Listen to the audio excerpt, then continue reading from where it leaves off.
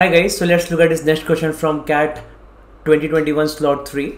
A question from algebra. So it says that 7th root of 10 into 7th root of 10 is square into 7th root of 10 raised to n is greater than triple nine and n is a positive integer. So what is the smallest value of n? Okay.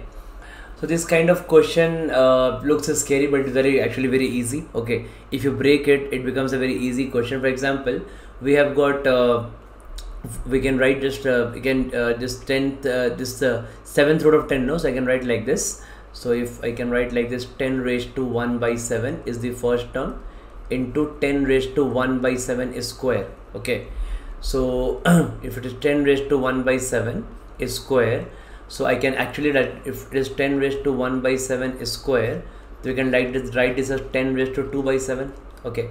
So I just put here 10 raised to 2 by 7 directly similarly okay so 10 raised to 1 by 7 cube okay. Then 10 raised to 1 by 7 4 and this will go on till 10 raised to 1 by 7 n.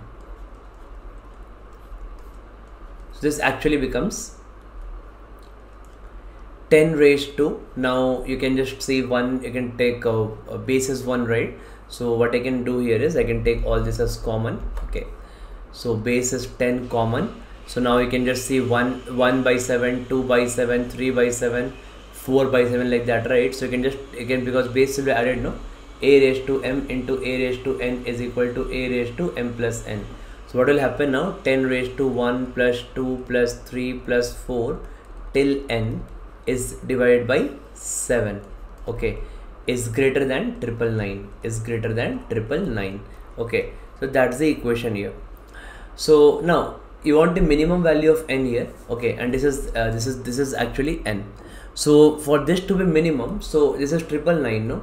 So obviously it has to be it has to be integer uh, because it is some 10 raised to something. So this side now triple nine is almost i can write this as 10 cube it is almost 10 cube because for any other value it won't satisfy you know so that n now in this case if i write it is almost as 10 cube so what i can say that uh, one sum of 1 to 7 uh, oh sorry 1 to n upon 3 oh sorry upon 7 should be greater than uh, this uh, this value.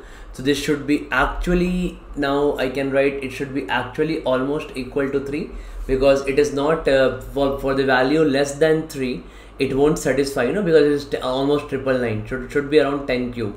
So for only equal to 3 it will satisfy and that will be the minimum value value of n. If i go at some further value this this value of n will be more. I want the smallest value of n.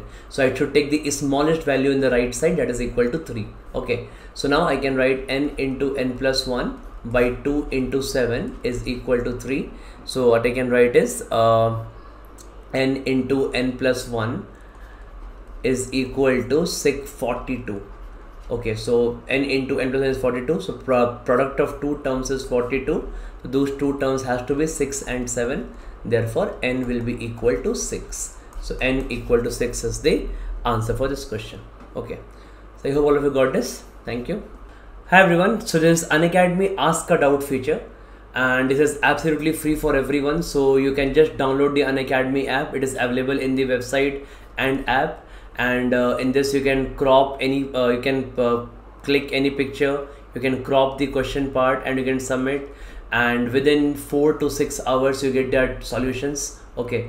And that is mostly in the video form. So you can this is absolutely free for everyone. So please use this feature guys uh, you can ask up to three doubts in a go till it is cleared and again you can post three doubts okay?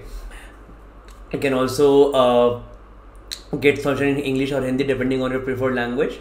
So this is this feature is available in your website and your app. It is absolutely free of cost for everyone. So just go uh, to unacademy you can post any doubt and you get a video solution by your top faculties okay?